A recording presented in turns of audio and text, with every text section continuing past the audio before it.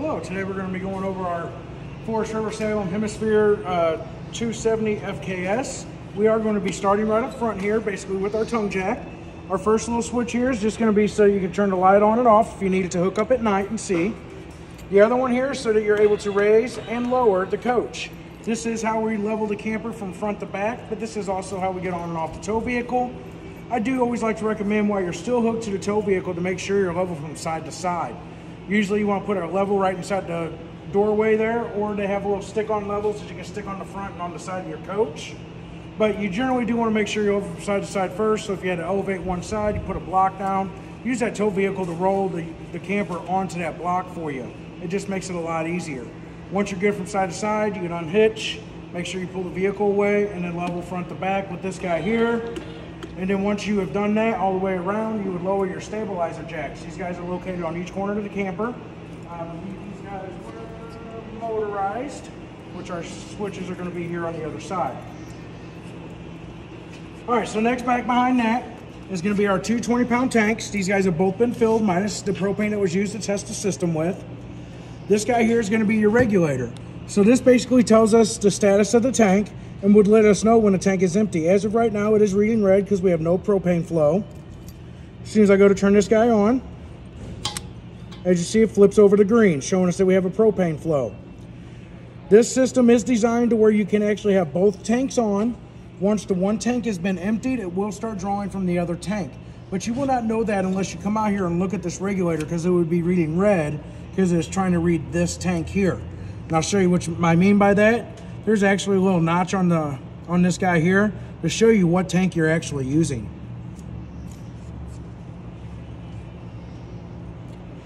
And Then back behind that, it's going to be a 24 series uh, deep cycle marine RV style battery. It is a sealed battery. Uh, basically with these guys, you just monitor this little eyelet right here. Um, usually when it's green, it's showing it's got a good foot charge. When it looks kind of clear, it needs to be charged. And black usually shows that, hey, it's dead, or over amount of time, it will just go bad. Next, uh, we do have these little cap lights here on the side. Basically, if you're at camp, uh, Camp Lot, you gotta be able to get your way back because we had a few too many cocktails. This guy can help lead you on your way home. The switch for him is actually going to be located right inside here. We're going to try to swap places here so you can try to see that. So there's a switch right up here at the top to turn that on and off. They do give you a little LED light there as well. Right there is going to be our battery disconnect. So when we are storing the camper, we're going to turn this and pull the key out. So anything that was potentially left on would not drain our batteries. Uh, especially the fridge. It is a 12 volt style fridge. Uh, if that guy's at full blast, it will uh, it will uh, the solar panels do struggle to keep it go, uh, keep up with that uh, fridge. Uh, believe this model actually has an off-grid setting so it doesn't pull as much power to stay cool. And then that very bottom guy there is just pretty much your solar panel controller. So it just monitors the batteries. Uh, when you're kind of boondock camping, once the batteries get below a certain level, uh, it would allow the surge from the panels to come through to charge that battery for you. And then once the batteries have been filled, or once they are full, it, it'll shut that circuit off. It pretty much monitors and maintains those batteries so they don't get overcharged. All right, so as we kind of go further along the line, you're going to see a couple stickers here that both say gray tanks. Uh, so you're going to have two gray tank handles underneath. We're going to try to step to the side where it's a little easier to see those. Basically right down there, there's going to be two gray tank handles. One is going to be just your kitchen sink. The other one is the bathroom sink and shower. And then also that little tube in the back there, you got one that has nothing, that's a breather tube. On the other side, there's gonna be another tube like that, that's your overflow tube. And then that one there with the little notch on it, or knob, is actually to drain the fresh water tank. Well, we're also right here. We do want to make sure you torque your lug nuts to 110 foot-pounds. That is to be done at 50, 100, and 200 miles. Uh, and then you always do want to keep the tires topped off to their max PSI level, which these guys are 80 PSI. I always like to recommend whenever you leave the campground, uh, usually the first place we stop is the gas station to refuel to head home. As you're refueling, you can check these lug nuts. You're knocking out two birds with one stone. All right, as we kind of go over here to the other side, we're going to have another hookup here. We're going to basically have your black tank, is going to be for the toilet, and your other one here is going to be for just the washer drain, because this does have the options of a washer and dryer hookup. All right, the next basically you're gonna have just a storage compartment here under the bed. Good place to kind of keep the uh, your power cord, which is gonna be this guy right here. It's a 50 amp power cord. Does come with the coach. Your bumper can uh, hold your sewer hose. Uh, the only thing it usually doesn't hold is the clear elbow that comes with your sewer hose. And uh, usually what I like to say is you get yourself a gallon jug of ice cream. I know we're gonna have a good day on the couch eating that guy, but that guy can actually hold that clear elbow for you. That way it can be stored in a compartment and ain't rolling around getting everything potentially nasty. We wouldn't want that, that'd be gross. You get basically you got your outside shower, hot and cold water. But underneath this guy is gonna be your water station. So up here at the top is gonna be your uh, black tank flush. So this is basically a sprayer inside the black tank, sprays around, gets the nastiness out. Um, with that clear elbow, you'll be able to see when that water's coming out clear. You always do want to shut the water off at the spigot first. And I do always like to recommend that you have a pressure regulator on there and a black hose. Keeps it simple, black tank, black hose. But on the backside, this is a plastic check valve. Too strong water pressure can damage that check valve. Next, we're gonna have the city water hookup. You always wanna use a pressure regulator at the water spigot. From there, your option is an inline water filter and then your blue or white water drinking hose. Hook up to here, you'll be ready to use the cold side right away. You do have to wait for the hot side, uh, for the water heater to fill up before you'd have water coming out of the hot side. But then again, then you would have to turn it on to get your hot water. It does gas or electric options. We'll show you that here in just a little bit. And then this guy here is gonna be so you can fill the fresh water tank. Once again, it's all plastic valves. I always do recommend using a check valve with the style system setup. Next, you got your uh, campground cable or satellite hookup. Uh, for the park cable, you do have to turn off the TV antenna booster, and I will show you that when we have stepped inside. Inside here, you got a little L-shaped style storage compartment, and they do have a little light here on the side.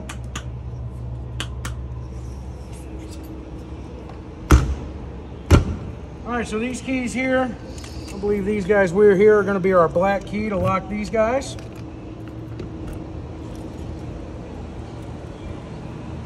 We got our spare tire there as well. And then we got the other side here. Once again, it's gonna be our black key. This here is gonna be so that we're able to extend and retract our rear stabilizer jacks. We're gonna have one on front to do the front side. So then next we're gonna have our first door here.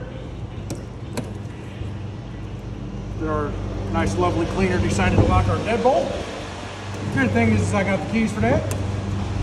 So with our keys here, uh, basically for the door handle, when you turn this to the right, it locks the handle. To lock your deadbolt, you're gonna turn the key to the left, but you're unable to pull that key out. If you turn it to the right, you're able to pull that key out to show that you did not lock your deadbolt. I also went ahead and labeled the keys for you because you had two purple keys. So your regular standard uh, purple key here is going to be for your front door. And then I went ahead and filled in the other one with a silver Sharpie and wrote a B on it for the back door or bathroom because the bathroom is right here or even bedroom. It's a 3B key. Whatever your option is, back door, bedroom, or bathroom. Next, we got a 110 hookup outside here. And then you can hook a TV up outside. They give you this guy here for uh, dog leash. Your low point drains are located underneath here. They are red and blue, I believe these ones were. Oh, they're actually tucked up underneath here. Let me steal that guy so you guys can kind of see that a little better. But they're going to be tucked up underneath there. You got red for hot, blue for cold. And you see you got those little knobs on there. I always like to recommend you open those guys up. Open up a faucet inside. As you guys go home, that air is going to blow through those lines and push any of the excess water out for you so you wouldn't have potentially water left in there that can come stagnant or bad. It is also used, those lines are also used when you go to winterize your coach. All right. I do have the outside speakers on. I try not to have them on too loud so I wouldn't have to try to talk over them, but right now I'm having to talk over a lawnmower. we never know what's going to happen. We do actually have the mount here to actually where you could bring your TV from uh, inside and bring it out and hook it up here if you wanted to. All right, then we have the water heater. So with your water heater is the gas electric option. The gas option is controlled from inside on a control panel, which I'll show you that in just a moment. For the electric, that's going to be located down here in the bottom corner. Right now it is on because we are currently in the middle of making sure that it was testing and getting good and hot, which it was. but whenever you are done camping, you do want to get all the water out of this guy. To do so, you're going to open, pull this up here to relieve the pressure, and then you're going to remove this guy down here. This is a 1 and 1 16 socket, and this is what they like to call your anode rod. Okay, this guy basically starts out the size of a dime and will work itself down the size of a coat hanger. But basically what it's doing is it's tracking the impurities in the water so it attacks that rod and not your tank because it is a steel tank. And our cover for that guy is actually hiding, I got him hiding right over here. Uh, as we move along, up top's gonna be our vent for the stove. Right now, this guy is closed. You would wanna pop this open whenever you go to cook. Then this guy here is going to be our furnace intake and outtake. Uh, do recommend trying not to block this, but would recommend getting mud dauber screens to put over this so it keeps the mud daubers out of there and wasps from building nests because then that will uh, cause issues with this to properly work. And then we have our other one down here for our front stabilizer jacks, basically to extend and to retract. Uh, I didn't point this one out towards the back, but this guy here and the one in the back, these are basically your ports so if the, something was to happen to the motors on the slide room, you still have a manual way to bring them in. Then they do provide you an outside sprayer. Uh, this guy's just hooked to the cold water, but then it's got different options for the sprayer end on it, just like your uh, normal house one would. We've got an outside fridge here. Basically, uh, it is uh, 110 only, so you do have to be hooked up to shore power for this to have power. And then we're gonna have our outside grill. Basically, this guy would come all the way open. This goes down to prevent it from potentially sliding in while you're cooking. But then you're gonna have a quick connect here on the backside. Oh, there he is. And a connect right here.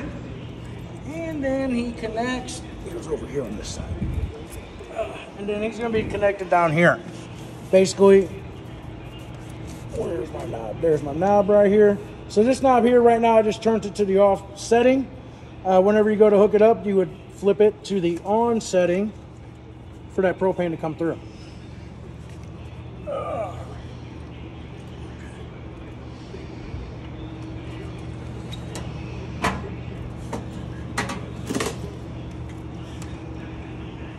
And then this guy here is going to be controlled with a 751 key to lock that.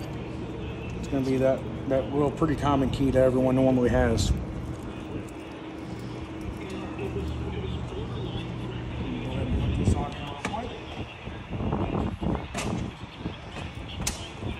All right, so next we're going to talk about our steps. Uh, this is basically going to apply for both the front and rear steps. You do always want to make sure your door is fully open when you go to open these guys, like whenever you go to put them up or bring them down. But basically these guys here are just going to lock right behind our little lip of the door. When the door is shut, it keeps it secured so it isn't bouncing all over the place going down the road. These guys here, so you're able to adjust the feet. A lot of people will have them all the way drop down and then once they release and bring their steps down, they'll, they'll manually adjust them from there. Okay, basically just like so. The reason for that is because you do want to try to make sure that this here is as flat with the threshold as possible. Too much of a gap or elevation on this will cause issues with both the screen door and entry door if you are not careful. All right, as we get ready to step on inside, right here, our entry door is going to be where our fire extinguisher is located. Then we're going to have our control panel here. So basically with our control panel, it'll tell you our tank statuses. So you're to have fresh, which we still got a little water in there. But then our battery, black tank one, you do not have a second toilet, so there is no black tank two. You're to have gray tank one, two, and three. I believe three was our um, Three was the um, washer drain itself. Sorry. Two was the um, kitchen sink, and one was the bathroom. Um, but please don't quote me on that. Um, I usually get them a little backwards, especially when there's multiple tanks. Uh, but then next we're going to have the water pump. You're only using the water pump if you're hooked to if you're using uh, the fresh water tank. If you're hooked to city water, you do not need him. This is for the gas option of our water heater. Then you have tank heaters. Pretty much these guys are with 12 volt heating pads on the bottom of the tanks, and it monitors them with a built-in thermostat. Once the tanks, once it reads the tank below a certain level, they will come on to warm them up to keep them from freezing. And then we're gonna have our three lights. Our first one here is gonna be our little ambiance lights above the slide. Our second one is going to be our awning light. And then our third one is our interior lights. Then we have our awning to bring it in and out. We'll go ahead and bring that guy out so we can see that.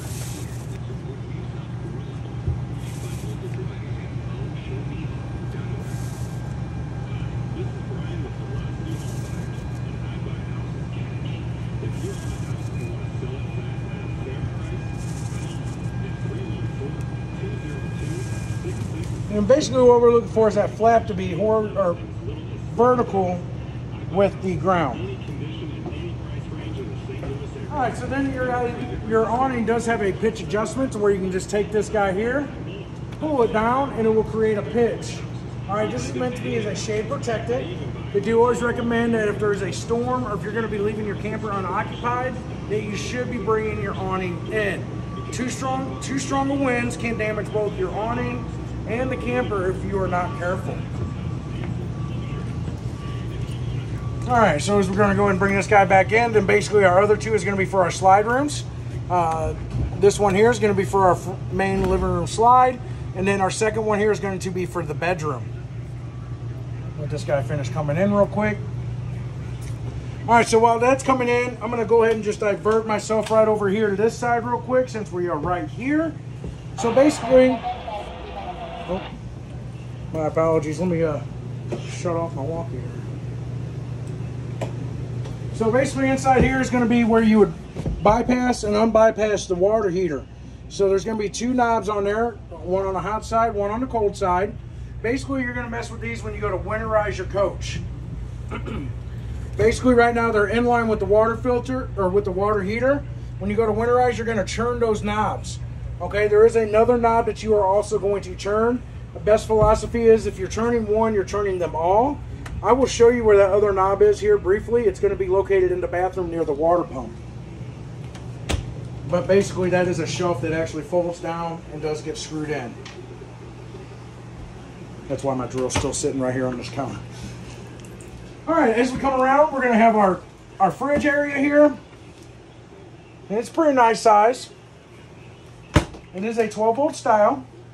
And you're able to adjust it basically right here with this guy.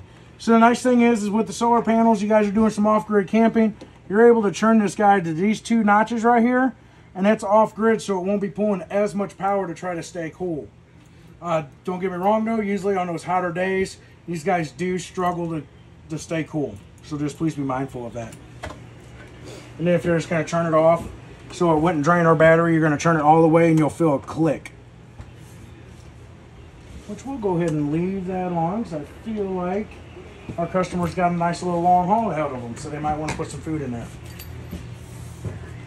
Next, we're going to have the microwave. Pretty much it's pretty self-explanatory. We like to say set the time. And uh, you guys come back, you see the time ain't set on the microwave. It shows there was a power failure at the campsite. You want to look and see if that was from the campsite itself or from the electric company in the area. And then next we're going to have our stove. This guy will tri-fold open. This is not a glass stove top. And then basically you're going to turn, it lights up red showing it's in use, and then you'll spark ignite. It sparked pretty easily because I already have propane flow going through the lines. Um, it should die down because I did shut the tank off. As you see, about roughly eight, almost eight seconds, 10 seconds there, it shut off on its own. You do have a little switch here to light up these guys. On the one hash mark, the two hash mark lights up these, but it's also the light for the oven. The oven is also controlled and lights from the spark igniter. You're just going to turn it to that flame icon. You push and hold it in, and then turn till it spark ignites. Uh, usually, if you angle this just right, you can catch that spark off the glass, and you'll see the reflection of when that pilot gets lit. Then we got our hood range, pretty much your fan, or your light, and your fan. You got your cabinet spaces up above. Uh, each side of the sink has a USB hookup and a 110 hookup. Um, storage down below. right down below here is going to be our LP slash carbon monoxide detector. Uh, basically, these stickers here is to make sure that you do properly test this. It is recommended it is tested every 9 to 14 days. And all you gotta simply do is just push this button. It'll go off again. And just go back to green. Okay, these guys do have an expiration date of usually 7 to 10 years. Uh, with this model, you do actually have to pull it off and uh, remove it, and you'll see the tag on the back of it. Uh, I have seen them go out before that time span, okay? So just please be mindful of that. You always do want to make sure if that guy does go off, um, that you are taking the necessary precautions uh, by trying to get everybody out of the coach. The first person out is going to be trying to turn off the propane canisters. The second person is trying to get everybody out and then trying to open some windows. Don't be trying to turn on fans or open you know, anything like that. We're not trying to create a spark. Then we're going to get 50 feet away for about 15 minutes. 15 minute time frame. Someone comes back in, one person usually. I always recommend checking the stove first because it happens quite a bit. These knobs will get pushed and churned. All right, I'm going to backtrack for just two seconds. Uh, basically, right down here is going to be where our fuse control panel box is located. So basically, everything that runs off shore power, so you have to be plugged in for it to work, is going to be on your breakers. And they have everything labeled for you. And then everything that operates off the battery is going to be on the fuses. And once again, they got everything labeled for you as well. I would always like to recommend, um, just as a safety precaution, that in the wintertime, just so uh, it doesn't get forgotten that you don't turn this off, go ahead and pull the fuse for the fridge. So that way, if it isn't accidentally left on sitting in storage all winter, it doesn't completely kill and drain your batteries. Next, we're to have our dinette area. Your light here is to be in the center to turn it on and off. And then this here is to be our manuals for most of the appliances in the coach. Forest River no longer sends paper manuals. You'll have to go online, put in your camper information, and you'll download a PDF file for this coach. This is actually going to be stored for the time being. No, not in that one. We're going to stick that one in this one. It'll be in your second drawer.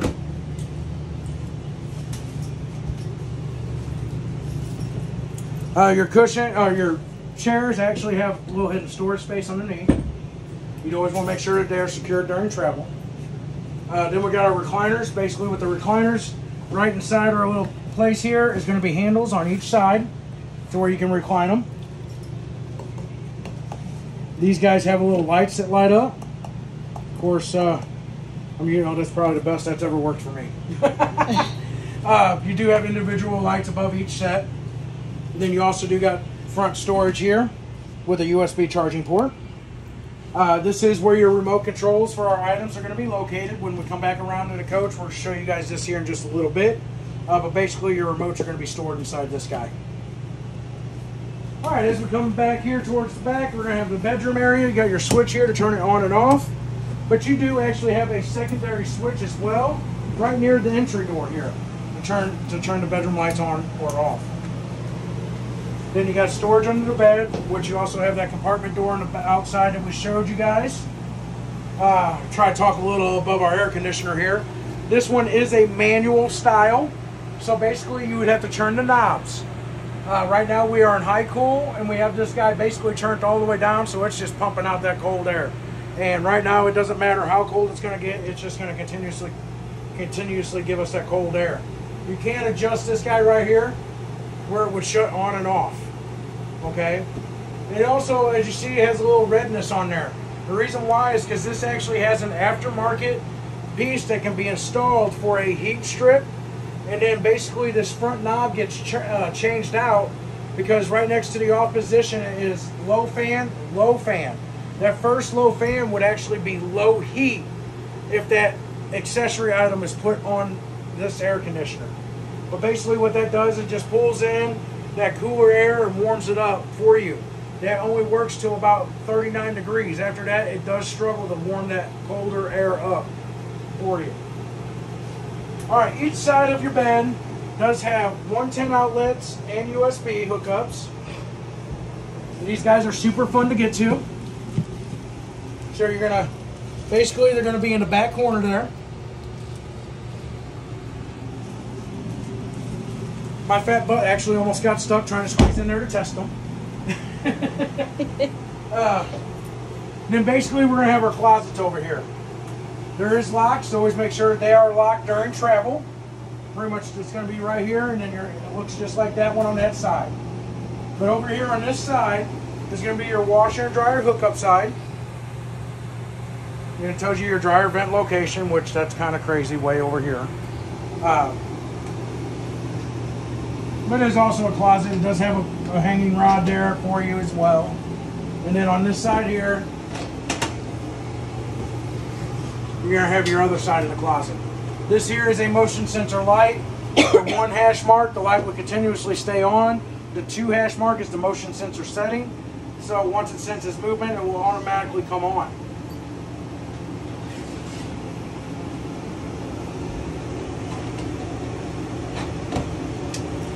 Then we got our little dresser area here.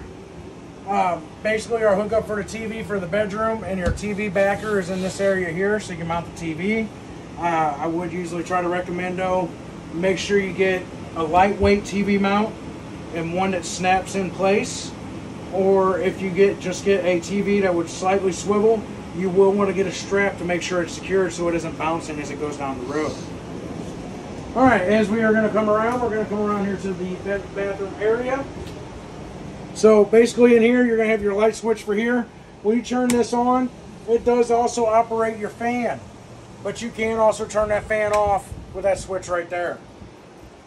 Uh, you got your medicine cabinet, storage space. As you see, I got this panel taken off right here.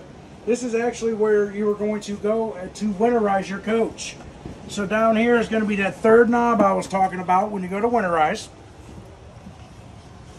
Uh, he's going to be located right back here. Right there. So right now it's actually in line with the fresh water tank. So whenever you go to winterize, you're going to turn that knob to where it's going to be cooling from this hose here. And this would go into your antifreeze. And then you're using the water pump to winterize. All right, so then we're going to have our shower here. Basically, uh, with your shower, it's going to have a knob on the top there so you can reduce the flow of water. Your water heater is only 10 or 12 gallon water heater. The average American uses 38 gallons of hot water when they take a shower, so you're just outmatched. Actually, looking at yours, I actually I think it might be a six. Uh, but during travel, you do want to make sure that this guy is going to be locked to make sure it doesn't move around and get damaged. Next, we're going to have our toilet here. For the toilet, you're going to lightly press on this pedestal so you can add water to do your business.